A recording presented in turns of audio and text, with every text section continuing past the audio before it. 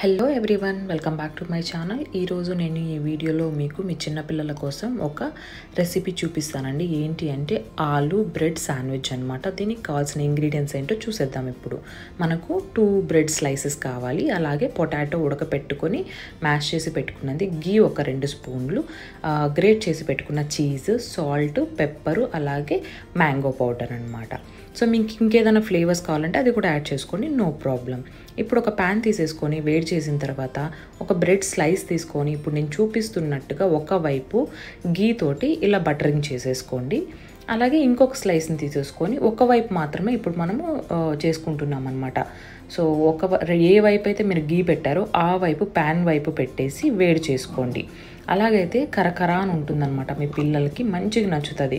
ఈ ప్రాసెస్ని కనుక మీరు స్కిప్ చేసినట్లయితే మీ బేబీస్ అంత ఎంజాయ్ చేయరు. ఎందుకంటే వాళ్ళకి లోపల మెత్త మెత్తగా అంటే తినడానికి నచ్చదనమాట కరకర అని ఉంటేనే వాళ్ళు మంచిగా తింటారు. సో ఇలా ఒక టూ మినిట్స్ పాటు చేసుకుంటే గోల్డెన్ కలర్ వస్తుంది అనమాట అటువైపు ప్యాన్ వైపు చూసుకోండి. ఇలా పర్ఫెక్ట్ అనమాట ఇలా వచ్చిన తర్వాత చేసుకొని రెండు స్లైసెస్ తీసి పక్కన పెట్టేసుకోండి. ఇప్పుడు ప్రాసెస్ ఏంటో చూసేద్దాం అనమాట మిక్చర్. ఇప్పుడు మనం పొటాటో పెట్టుకున్నాం కదా ఉడకపెట్టి మ్యాష్ చేసుకున్నది. ఇలా దీంట్లోకి మనం ఇంగ్రీడియంట్స్ అన్నీ వేసుకోవాలి. సాల్ట్ పెప్పరు అలాగే మ్యాంగో పౌడర్. ఈ తర్వాత మీకు ఇష్టమైనవి లైక్ కొత్తిమీర వేసుకోవచ్చు ఆనియన్ వేసుకోవచ్చు చిల్లీ ఫ్లేక్స్ వేసుకోవచ్చు బట్ పిల్లలకి అవి తినడానికి నచ్చదు బాగోదు కాబట్టి నేను వేయట్లేదు.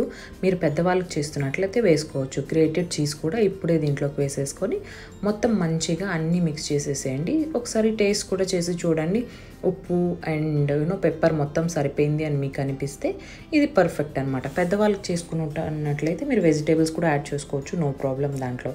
ఇలా బాగా మిక్స్ చేసేసిన తర్వాత మనం ఇప్పుడు ఈ ఉంది కదా దీన్ని మనం బ్రెడ్ స్లైస్ మీద పెట్టాలన్నమాట. ఎటువైపు పెట్టాలి అంటే మనం ఇందాక వేడి చేసుకున్నాం కదా సో కొద్దిగా గోల్డెన్ బ్రౌన్ కలర్ వచ్చింది కదా ఆ వైపు అనమాట పెట్టేసి ఇలా నేను చూపిస్తున్నట్లుగా మొత్తం బ్రెడ్ స్లైస్ మొత్తము పేర్ చేసుకోండి అనమాట ఈ ఆలూని.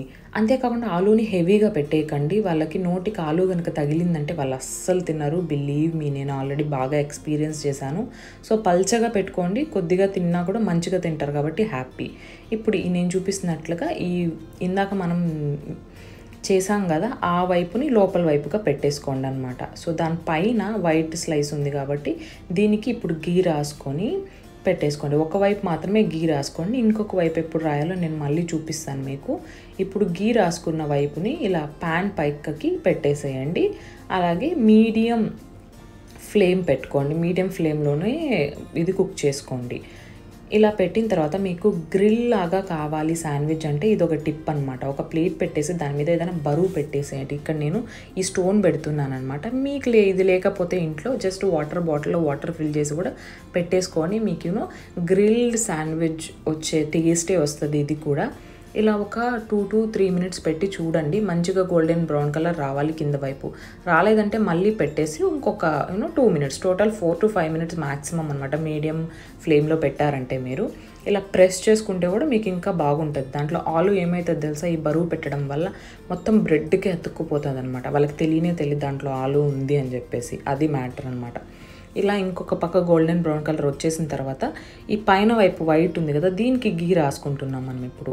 ఈ గీ రాసుకున్నది ఇప్పుడు కిందకి వెళ్ళిపోతుంది అనమాట ఇలా రెండు వైపులా గీ అనేది రాసేసుకుంటాం. దీనివల్ల ఏమవుతుందంటే ఆ గీ లేదంటే బటర్ కూడా అప్ టు యూ మీకు ఇష్టం అనమాట సో బటర్ కానీ గీ కానీ రాయడం వల్ల ఏమవుతుందంటే టేస్ట్ నోటికి ఎంత మంచిగా ఉంటుందో అంత మంచిది. అలాగే గీ కూడా ఎంత మంచిది మీకే తెలుసు కదా బేబీ హెల్త్కి వెయిట్ గెయిన్కి కానివ్వండి అన్నిటికీ మంచిది. సో గీ వాడండి నో ప్రాబ్లం మన శాండ్విచ్ అనేది ఇప్పుడు రెడీ అయిపోయిందండి. ఇప్పుడు నేను నైఫ్ తీసేసుకొని శాండ్విచ్లు ఎలా కట్ చేస్తామో అలా కట్ చేసుకుంటున్నాను అనమాట సో చూడడానికి బాగుంటుందని చెప్పేసి చూస్తున్నారు కదా. చీజ్ కూడా బాగా వేడెక్కి మంచిగా ఎమ్మీ ఎమ్మీగా ఉందన్నమాట. దీన్ని మీరు కెచప్తో కానివ్వండి లేకపోతే మయోనీస్ మీ పిల్లలకి ఏది ఇష్టమైతే దాంతో సర్వ్ చేసుకోండి. విహాన్ నేను కెచప్ ఇస్తున్నాను.